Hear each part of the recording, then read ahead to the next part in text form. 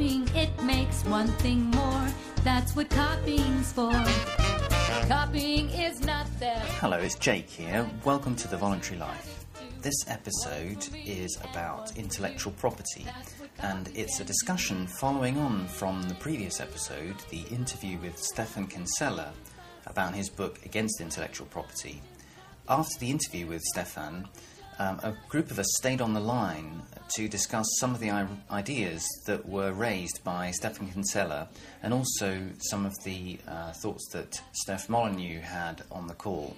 So, in this episode, you'll hear us talk about those ideas um, around um, intellectual property and whether it's valid uh, or not, and the issues relating to um, intellectual property today and technology and so forth. We do make reference directly back to the uh, interview with Stephan Kinsella, so if you haven't heard that episode yet, uh, you might want to listen to that first uh, before you hear this one. So I hope you enjoy the discussion, and thanks so much for listening. Well, thanks so much for coming along. Did you enjoy it? The only thing that I would say was um, is a little frustrating about this subject as a whole is that we're in a situation right now, I mean, where we can't even really talk about like legitimate definitions or defenses for property. Um, I mean, it's like a complete state of nature as far as um, property, whether it's intellectual or physical. You know, with the presence of the state and its involvement in property and intellectual property, um, everything is kind of like there's already a huge initiation of aggression going on and so everything else after that is basically just people sort of jostling for position within that framework, if that makes any sense. I think and, I, I think I know what you mean in the sense that, uh, I, I, mean, tell me if I'm misinterpreting, but is, is what you're saying that, you know, this is all a bit abstract, talking about sort of like the fine points of intellectual property when in general property is so poorly understood or enforced. Is that what you mean? Not just poorly understood and enforced, but actually distorted and corrupted and um, um, intentionally uh, misdefined, right? Um, for the sole purpose of um, giving the state a purpose, right? Yes. Right. But and no, so, and so, I, argue, arguing over whether um, you know um, uh, the Beatles have a right to their songs is sort of like arguing over, um, um, you know, who who owns the fire plug, right? I don't know quite what that means. What's what's a what's a fire plug? Um, the, the fire hydrant. Little, yeah, a little red fire hydrant on the corner where the fire department comes and connects up to it. That that thing. Oh, you mean like there's a fire burning the house down, and let's not argue about um, who owns the fire hydrant? Yeah, yeah, exactly.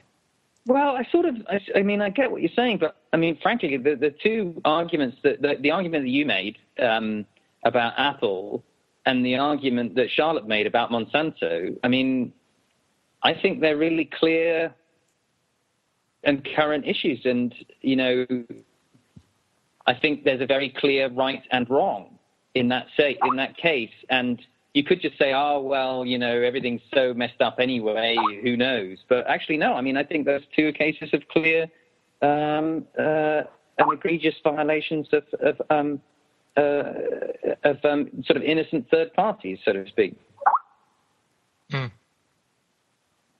so i mean I, I sort of know what you mean but where does that lead you? Do you just kind of say oh fuck it well, because up, you know, what can we... Because Steph's actual response to that was uh, um, was pretty accurate. I mean, uh, the GUI interface, if we want to go back to unique inventions, I mean that belongs to Xerox, right? So in Xerox PARC, yeah. Yeah, but that's why. Um, I mean, that's why this whole intellectual property thing, I think, is just completely unsustainable. You can't, you, you cannot establish any decent arguments to define ownership of ideas in other people's heads. You just can't do that. In a free society, um, what would happen there? I mean,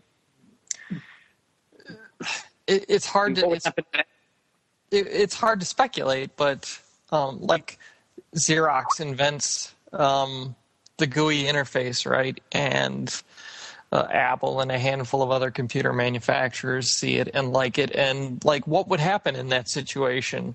Like, if they hadn't like used um, state mechanisms to um, to um, file for co- file for patent or copyright or whatever, and um, it were just open to negotiation. Like what would what would Atari and Apple and Commodore have have done, right? Like, would they have done the same thing? Would they have done something different? Would they have done something not a, nothing at all? I mean, I mean, what sort of negotiation would have come out of that with with Xerox, right?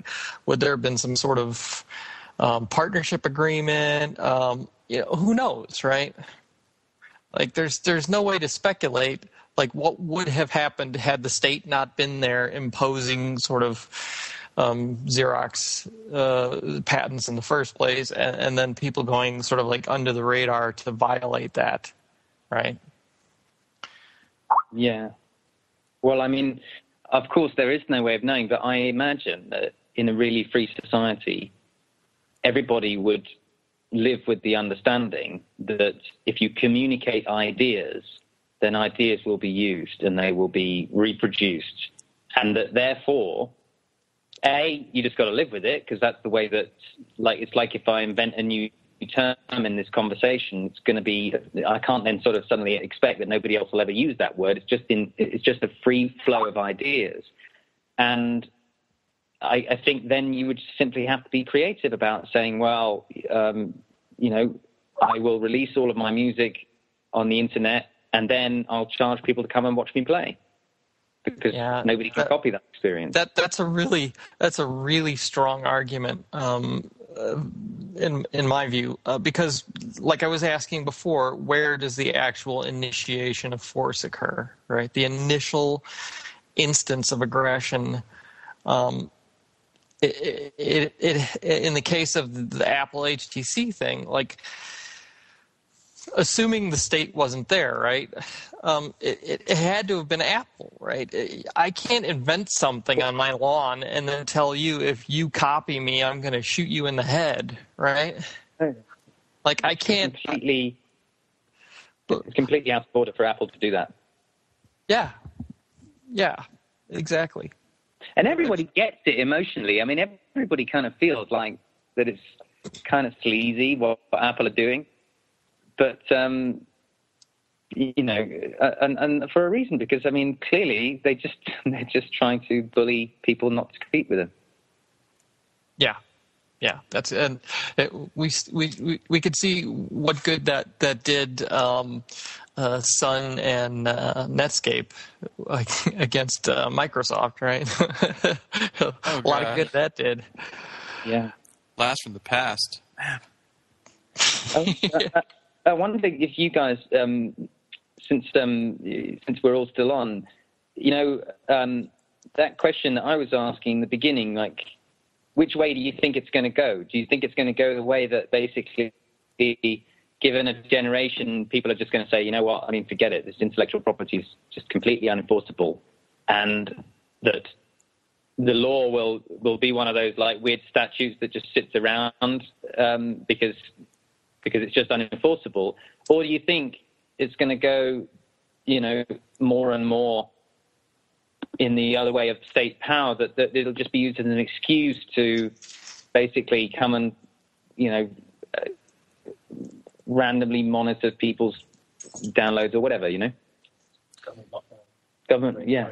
Yeah, that's, think... that's that's being done in the UK now, isn't it? I mean, yeah, what were you going to say? Yeah, they're going for the government lockdown route. I think there was, there was legislation in the UK which they tried to pass for to allow police officers to actually hack people's machines or monitor their emails and things. But that luckily got blocked. But the thing is, I mean, it's like every other month they were um, trying to release a new piece of legislation to control the internet. And at the moment, the, the big thing, the big killer for the internet is the um, the, that, the secret bill of whatever internet policing or whatever. I can't remember what it's called.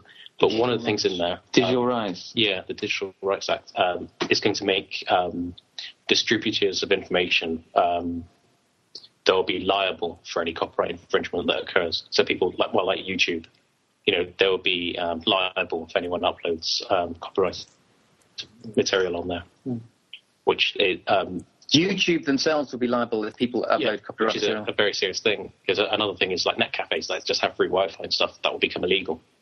I mean, they- they're really going to kill the internet in a big way by doing that because um, all um, net cafes and things they would have to um, either file for being an ISP or they have to stop using uh, free Wi-Fi. Yeah. I mean, that's this for, for the internet. This is the next place where it's going to go. Is where we're going to have you know like a um, entire you know like nationwide wireless network, so we can have internet anywhere. But that's going to be prevented from happening because of government legislation.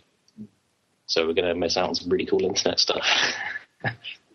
But I mean, instead, what we're, instead, what we're going to end up with is just one big, gigantic public park that's completely unmaintained. Gonna end up with. I mean, Yeah. really? we, we we already pretty much have that. I mean, uh, right? I mean, if if if if if, if I'm spe- if I'm misspeaking, you know, you know, please correct me. But No, that's you're quite right about that. we pretty much already have that because you know that we have we have technology that could the technology is out there that could solve a lot of these problems and they tried to push the DRM stuff and obviously that didn't work very well but you know it it's not it's not even a technology because the technology is just a tool it's it, it's about well I guess it's I guess it's more about you know people's understanding of morality right Yeah. and it, you're not going to get um, it's just complete amateur nonsense as Steph would say but i don't think you're going to get a whole lot of traction in something as abstract as intellectual property before you actually get something you know like murder is wrong no matter who pulls the trigger you know i just i don't think that's going to happen i think that's intellectual property is going to kind of be what follows after you get moral clarity and things that are actually physical and concrete.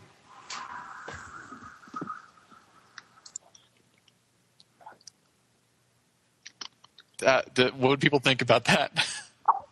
No, I think you're 100% right, James, and that's that's one of the reasons why I was asking the questions I was asking is you know where is the force actually taking place? Like where is the initiation of force actually happening in an IP exchange?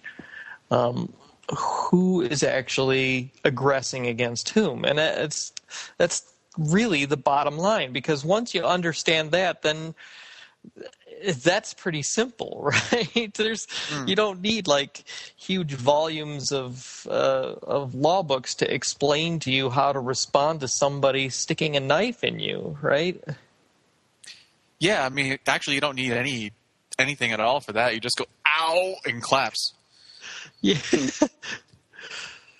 You know, I just wanted to ask because um, on on this subject, like, uh, do we have any?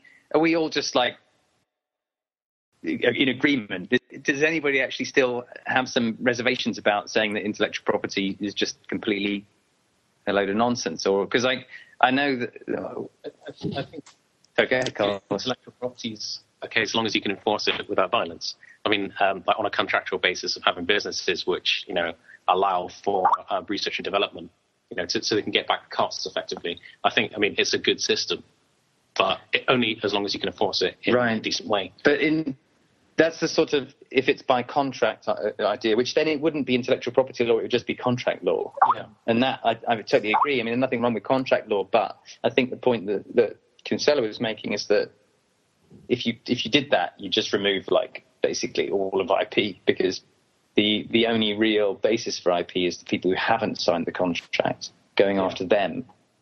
Um, so yeah, I mean, and that's and that's all about that's all about controlling what other people do with their property.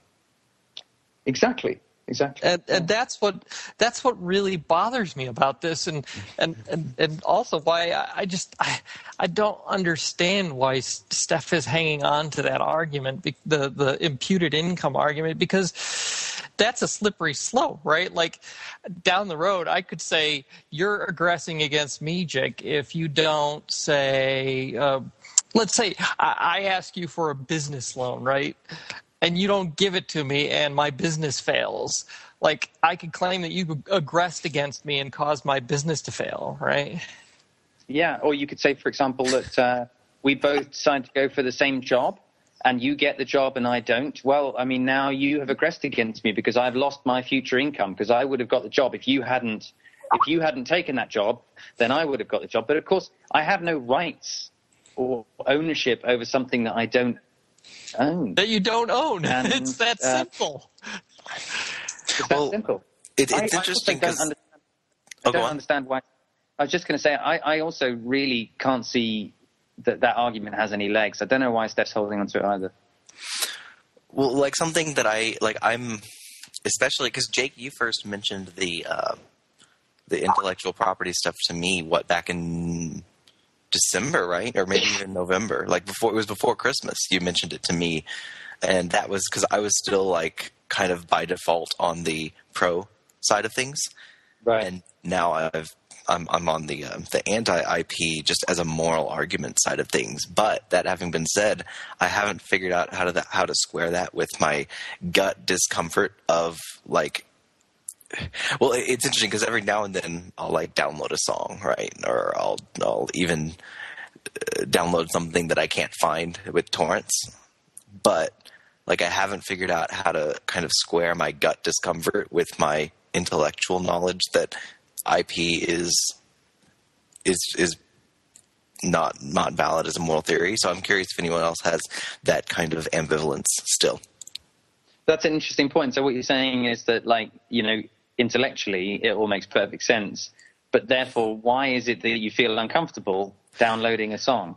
Right, or like I'm I, I, I feel a gut level discomfort or, or like I, I, I intellectually know that it's not an, an evil thing to download software, but that doesn't mean I'm going to go on a torrent site and find Photoshop, right? Right. Right. as nice as it would be to have Photoshop for free. And in the, at the same time, I would understand that I'm not being evil, but still, I, I have a gut level discomfort with that. And I'm, I'm wondering if that's just kind of a. I also have a gut level discomfort with. Well, that's why that's why I asked the question I asked, which is, is that an, an initiation of force on your part, Greg, to go and and download a cracked copy of of uh, Photoshop? Is that an initiation of force? Now, I'm not saying are you committing murder. It- It's it's just a I mean a minor minor initiation, but still, is it an initiation? Right? I don't. Well, I don't. I- I don't think that it would be. I don't think it would be either. why not? I think it's Because- that, that situation is I mean- more of a, a logical thing rather than a moral thing because we kind of understand the fact that if we don't provide money for whatever thing that's been created, then that thing wouldn't exist. And we currently live in a copyright-based society, so people aren't kind of used to the fact that they have to kind of pay for stuff. When I'm trying to explain that properly, I mean, people like download music and everything, and um, if we didn't have copyright, we'd have some other system to compensate people for doing things. And we don't currently have that system. And we're kind of like logically aware that we need to compensate people for the things that No, they make in I, I some way. think I think Carlos is. Uh, I, I really get that because I think, for example, Greg, in your case, in I mean, this is all completely hypothetical, but let's just say that emotionally, you know, you know that you should give Photoshop, I don't know, fifty cents or or whatever it is, right? You should give them something, but it's I think not. Photoshop is a little more than fifty cents. no, no, but this is I'm talking about a, Oh. a no IP world, right? Got it. Okay. Sorry. Right, I'm talking about in an OIP world. So you should give them some kind of monthly subscription fee of some, I don't know, whatever it is, right? And it would probably be pretty cheap because these things would be so pervasive and so easy to, that, like, basically the economy would be so much more efficient anyway. Right. you oh, and can't ostensibly there would be choose- there, there would be more competitors to Photoshop That- as well, right? That's an Right, excellent. That's an excellent point, Jake, and it actually goes back to what I was saying before about the, the, the environment being so corrupt and so distorted that, you know, um, that that you can't really you can't label Greg downloading Photoshop as an initiation of force, but in in a free society where the initiation of force didn't already exist, um, it would be so easy to get Photoshop that it wouldn't be an issue. Right, and the problem is in this, as Carlos was saying, in this situation, you can't effectively, you can't just pay fifty cents a month or whatever it's going to be, because you know what are you going to do? Just like write them a check or something, get the post from some random guy. I mean, um, I uh, yeah, I, I think I owe you this much, you know. So um, you either got the choice to pay what is you know a kind of monopoly price enforced by IP, or to pay nothing. Yeah, and emotions aren't binary, right? So your emotions give you an idea of how things might free market if it was in a free society with rational people. So it's actually a quite a healthy, proportionate response to having to live in a brutal and um, system which kind of splits you, you know, between two extremes. Yeah. Well, I guess you could also do what Steph does and rent movie or download movies, and if you like them, go to the store and rent them and drop them back in the box. Yeah, yeah, I'm sure. I'm not sure how that would work with your Photoshop example, though. right, that's a good point. I know when, I, when I've um, downloaded stuff before. I mean, like I remember like years ago, I downloaded Half Life, the game, and actually went out and bought it after downloading the game. So I was like, "Wow, this is really amazing!" And then I went out and bought the game, and and I've done that with a lot of things, like games. If I've downloaded them and they're crap, and I just sort of delete them, and then that's the end of that. But games that I you know I like, I mean, I go out and buy them, you know, because that that's how I show my appreciation for something which is really really good. But then, funnily enough, I, I don't do that with music. I Right. mean, I mean, I, I know I, there's some like particular musicians which I will, you know, like find the time to compensate them somehow. But um, like with music, I have quite a big music collection, and I haven't. I mean, to this day, I've never bought any music ever. um, I, I mean, I first started getting music when I got a PC, and I figured out I could download stuff. Um, and I think it's kind of weird because I, what I found that um, on the internet there is enough um, legally free music for me to listen to music for the rest of my life and never actually have to buy any. So I think that's kind of uh, a thing in there as well of why I wouldn't pay for music. Uh, the fact that there is that, that much freely available music anyway. Are you talking about Uh, pod safe stuff? Or? Yeah, well, people stuff that people give away for free. Right. I mean, there's enough of it out there. Because I mean, like, oh, the internet's. I mean, got lots and lots of people on the internet. If everyone writes an article that's one minute long, you'd never be able to read them all in your life. Right. So some content is kind of unlimited. More and more major bands are doing that now as well. Like it's not just limited to really obscure people that no one's ever heard of. Um, I mean, and actually, you know, some bands like um, Radiohead and Nine Inch Nails are actually making a fortune doing it that way. Like Yeah, I mean, Radiohead- I mean, Radiohead- Uh, like Radiohead made more money with in Rainbows, the one that they did for free with donations, than they did out of, of all their other albums combined. Like their Yeah. profit that they took home. I think Trent, Trent Reznor made a fortune out of his last out his last few albums as well because he released it for free. But then for the people who who were really like real hardcore fans, he released you know like four hundred dollar box sets with special art and stuff like that, and that's where he made. And he made more profit from that doing it through than doing it through a record label. Right. Maybe you could buy a Photoshop T-shirt, Greg. Yeah. Go to the- you know there's there, there's a definite trend away from like a monolithic you know central source system to a distributed source system and that's really like uh, and maybe that's just sort of something that's going to continue to happen as far because it's you know it happens in music and people become that much more successful when they don't have to go through the radio com- or uh, record company right um, and s- people. You, I mean, you have people like there's the example, the examples, the music examples that Hannah was just saying, where people are clearly making money out of releasing music for free, and you have people making money out of free operating systems too. I mean, there are lots of people making money out of Linux. It's just that they're providing other services and not not actually you know the source code itself is, is the way that they actually make the money. All right, other services or custom uh, custom enhancements for Yeah. particular applications. Yeah. Well, and then with like things like Firefox, I mean, one of the ways that they kind of get the labor force that a lot of companies would pay for is by providing the value, which is that if if if a developer works on the source code for my, for uh, Firefox, I mean that's a lot of experience. It's it's it builds a little bit of I guess of a peer prestige, and then they can like use that as experience on their resume. So they get that same labor without kind of having to charge for the product and then pay the developers in a sense. And the amazing thing is that you know these whole all these IP arguments about well you know we would never be able to develop this that and the other if it wasn't for having an IP, and then you think well in the mid '90s, I'm sure that Encyclopedia Britannica would have said, oh well nobody would ever have an encyclopedia if it wasn't for us to be able to protect our encyclopedia through through IP. And actually, you know, the best encyclopedia in the world is free. And, Well, and, and furthermore, if, if you would have if you would have asked, uh, actually, this was an example. That very example was used in this book that I'm reading, Drive by Daniel Pink. That if you, if like ten years ago, if you would have con- gone to economists and and told them and asked them, okay, which of these encyclopedias will be the most popular encyclopedia in ten years? Either one that's made by Microsoft that hires the best editors in the world, the best writers in the world, and they spend billions of dollars, not billions, millions of dollars on making this wonderful. They they update it every year, or one that doesn't pay its writers, doesn't pay its editors, but they it runs on volunteers. Um, anyone can edit it and stuff like that. Which would be the most popular? No one would guess that Encarta wouldn't even exist anymore, and Wikipedia would be by far the most popular. No one would have ever guessed it.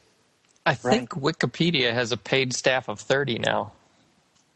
I, y- you're right. They they do. but they Uh, are they are funded voluntarily through uh, through donations. Quite right. Quite right. So are they editorial staff or are they tech staff? I think they're support staff and they're like technical staff.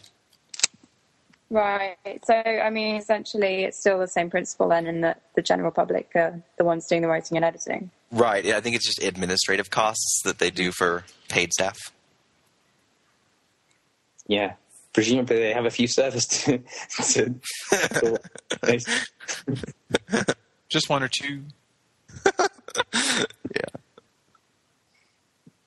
cool. Anybody else have any other thoughts? Otherwise, maybe it's time to. I think I'm done. Well, it was great fun talking to you guys. All right, guys. Well, have a great evening. Have a good night, Jake. Later. Cheers. Bye, everyone.